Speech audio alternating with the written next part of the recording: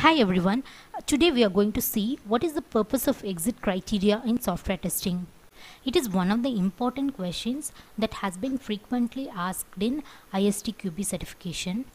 If you look at the answers, for example, it is used to define when a test level is completed or to determine when a test has completed or to uh, determine whether a test has passed or to identify whether a whole software system should be retired. So all these answers look similar but it's still confusing right so we will see at the end of the session which is the appropriate answer for this particular question as we all know that in software development lifecycle there are different phases right from requirement gathering analysis and design till testing and deployment. There are different phases. So each phase goes through different levels of testing.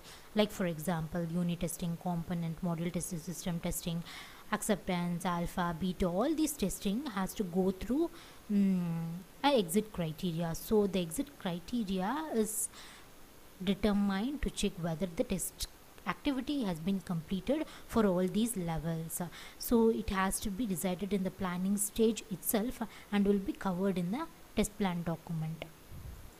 So as we know that each testing has different test uh, criteria. So it will be the um, uh, exit criteria will be different in each type. Like for example alpha and beta testing will have different exit criteria. So unit testing component all these things will have different exit criteria for every testing level.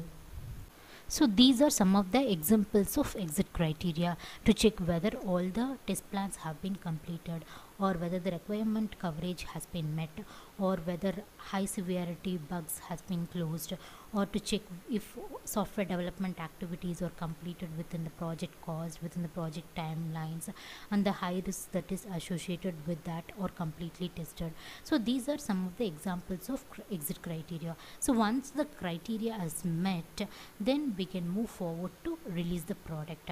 As we have seen in the examples so each product has different exit criteria since it has its own high risk areas and since it has own project timelines and the resources all these things uh, mm, will decide what is the exit criteria for that particular project.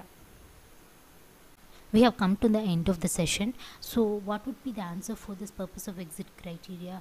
As we have looked mm, into the details of the exit criteria answer a would be appropriate. That is to define when a test level is completed is the appropriate answer for the purpose of exit criteria. Thank you so much for listening. Please subscribe to our channel vpeople for to watch more software testing related videos. Thank you